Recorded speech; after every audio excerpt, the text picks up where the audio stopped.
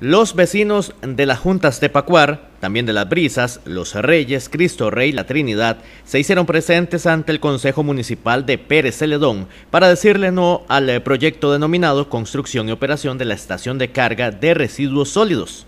Durante los últimos años, nuestras comunidades, como nosotros quienes las habitamos, sufrimos el deterioro constante de nuestra salud, nuestro medio ambiente y nuestras propiedades con el discurso sobreevaluado de progreso, nos han llenado nuestros ríos Pacuar y el general de proyectos con un impacto acumulativo que nos deja pérdidas ambientales y de salud que jamás serán compensados. Todos estos vecinos fueron claros en que no quieren ese proyecto en su comunidad y el no es rotundo. Hoy hacemos de su conocimiento la decisión unánime e irrevocable de los habitantes de las juntas de Pacuar.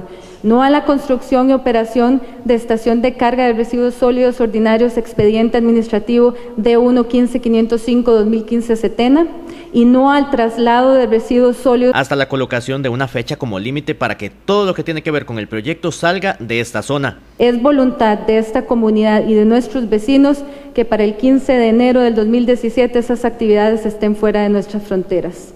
Asimismo, le solicitamos a este Consejo no girar dineros del erario públicos en torno a este proyecto, el cual desde sus inicios ha pisoteado nuestro derecho constitucional a un ambiente sano y digno, minimizando a su paso nuestro derecho como seres humanos. Esto provocó la polémica y las diversas opiniones en las distintas bancadas dentro del Consejo Municipal del Cantón.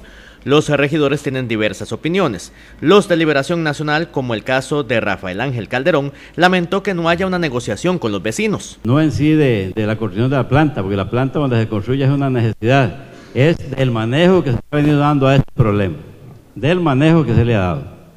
No ha habido un acercamiento, no ha habido negociación con la comunidad y este, incluso en ocasiones documentos que han llegado no se les ha contestado a tiempo y este, e incluso documentos que llegaron acá llegaron con hojas o faltándole algunas hojas.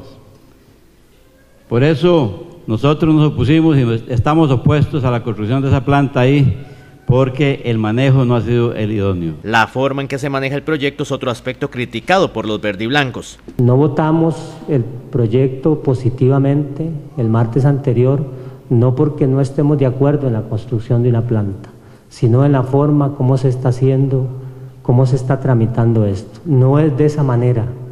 Creo que la administración le ha faltado precisamente sabiduría. Otros regidores dieron su criterio del por qué votaron la semana anterior de manera positiva. Yo voté, y voy a ser claro, ¿por qué voté?